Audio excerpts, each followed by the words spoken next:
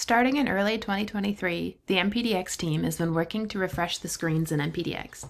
As we've worked, we've created instructional videos and written help documentation to explain the changes and help you as you use MPDX.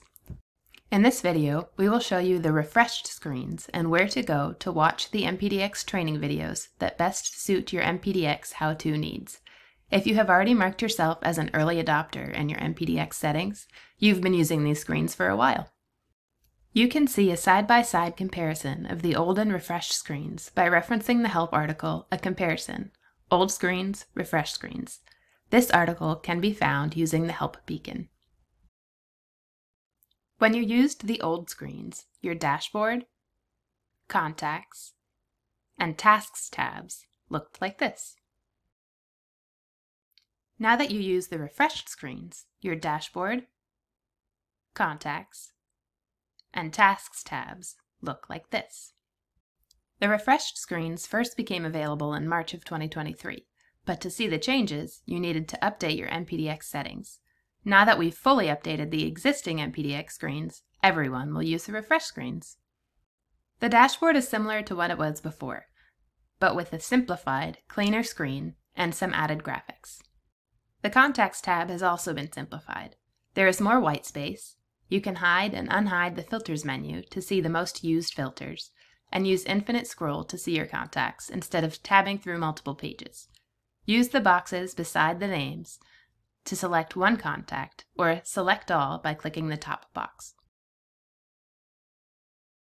We've also made it easier to view your contact's location by adding a map view. This option will plot the contacts you've selected on a map so that you can see their location. When you view a contacts page, or a specific contacts information, you'll see the exact same information as before, but reorganized into five tabs instead of seven. The tabs are named tasks, donations, connections, formerly called referrals, contact details, and notes. The contact details tab is where you can see and update information like a person's email, phone number, address, etc.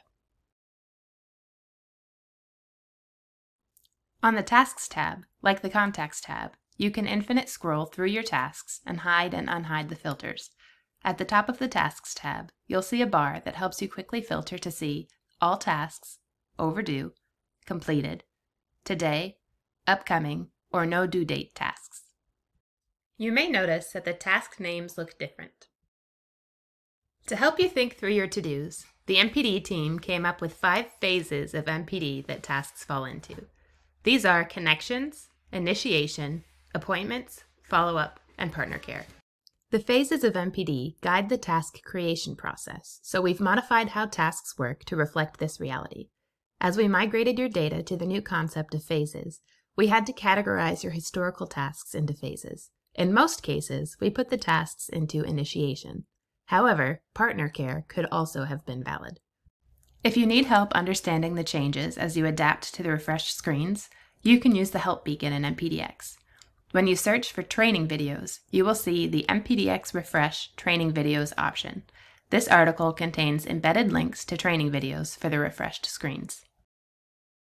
To learn more about tasks and phases, watch our video, MPDX Refresh, Tackling Tasks with Phases.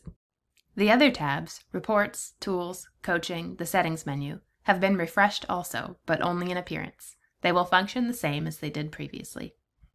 You can find additional MPDX training videos by going to YouTube, visiting the Cru Digital Products channel, and searching the playlists for MPDX. We hope this video has increased your understanding of the refreshed screens. Thank you for watching.